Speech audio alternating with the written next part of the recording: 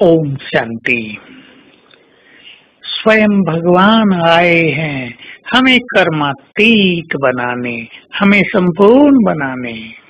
इसलिए हमें इस जीवन में अपने से अच्छी मेहनत करनी है, क्योंकि इस समय की हमारी मेहनत जन्म जन्म की मेहनत से मुक्त कर देगी।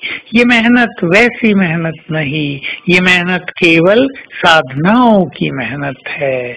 ये मेहनत मन बुद्धि को एकाग्र करने की मेहनत है। ये मेहनत थोड़ा सा समय निकाल कर योग अभ्यास करने की मेहनत मेहनत है। एक मेहनत वो होती है जिसके लिए बाबा मना करते हैं कि अपने व्यर्थ संकल्पों से लड़ना, अपने मनोविकारों से द्वंद करते रहना, ये युद्ध थकाने वाले हैं। लेकिन ये मेहनत, जो हमारी साधनाओं की मेहनत है, हमें थकाती नहीं, बल्कि हमें बहुत सुख देती है। तो हम कर्मातीत अवस्था को प्राप्त करें। और इसकी अभी से प्रैक्टिस करें कि हम कर्मों के प्रभाव से मुक्त रहें। अर्थात कर्म तो हम करते हैं, लेकिन उसका जो इफ़ेक्ट होता है, जिसको बाबा कर्म कॉन्सियसनेस कहते हैं, उससे जरा बाहर चले।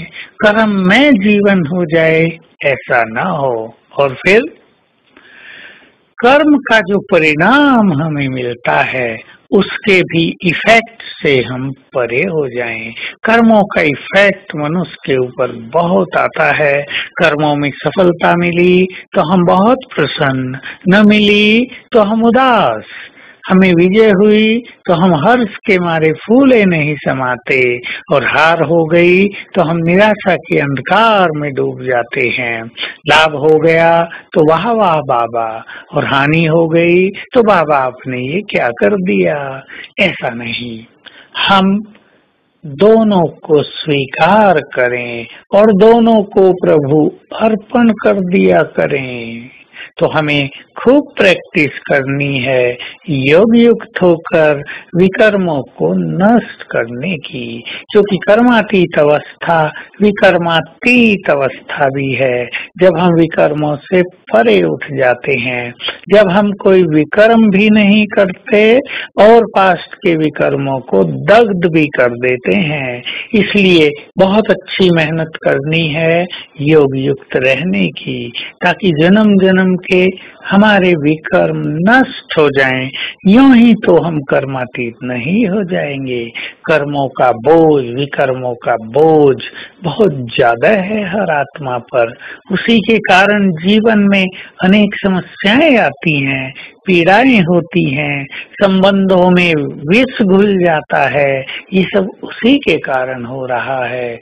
जितना जितना हम योग अभ्यास करेंगे, हमारे ये भी कर्म नष्ट होते जाएँगे, लाइन क्लियर होती जाएगी। हमें ऐसा लगेगा, सिर भी हमारा हल्का हो गया, उस पर होने वाला बोझ, उस पर उभरने वाली टेंशन बहुत समाप्त हो गई, हल्की हो गई। साथ साथ हम ये भी ध्यान देंगे कि हमसे कोई विकर्म न हो। विकर्म बड़े सूक्ष्म है।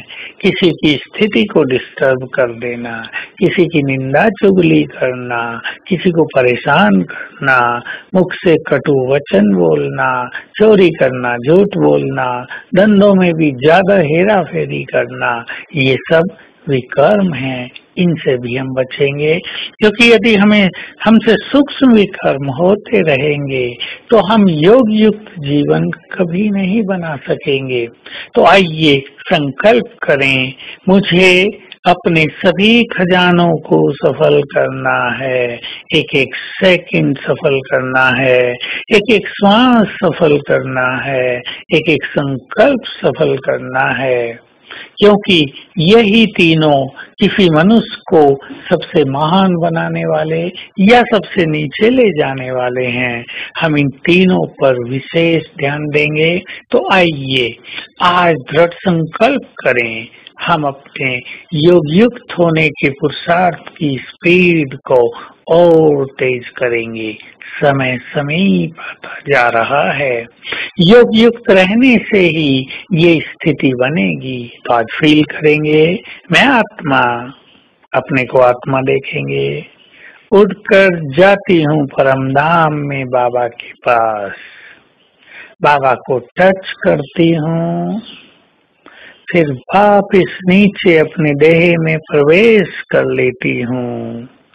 फिर परम धाम जाती हूँ, बाबा को टच करती हूँ और फिर वापिस आती हूँ, देह में प्रवेश कर लेती हूँ। ओम शांति।